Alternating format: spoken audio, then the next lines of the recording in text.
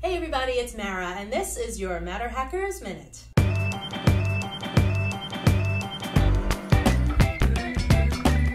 Jesse Kovarovics, a software developer based in Atlanta, created the FDL-1. Kovarovics first started 3D printing in 2014 when his wife got him a Printrbot Simple Metal kit. He was blown away by the fact that he could now design something in CAD software and have it appear before him in front of his very eyes. The FDL-1 uses a particle photon microcontroller, which is the brain of the launcher.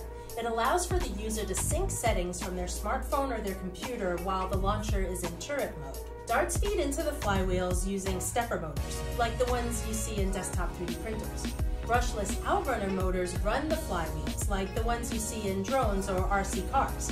They spin really, really fast, giving the launcher its stability and power. With the paddle switch loading system, you can move to the next chamber one-handed, which is huge for Nerf war strategy. It also has dart in chamber detection, so it automatically spins to the next loaded chamber. There's even an FDL2 design, so click the link below for more information. You can even download the parts from MatterHackers Design Store and print your own launcher for free. As our Hacker of the Month, Kovarovics received two free spools of MatterHackers filament. If you know somebody who deserves to be featured, leave us a comment. I'm Mara, and this has been your MatterHackers Minute. Go be awesome. Thank you for watching. If you liked that, subscribe to our channel to keep up to date with all the latest videos. And don't forget, go to matterhackers.com to shop for everything 3D printing.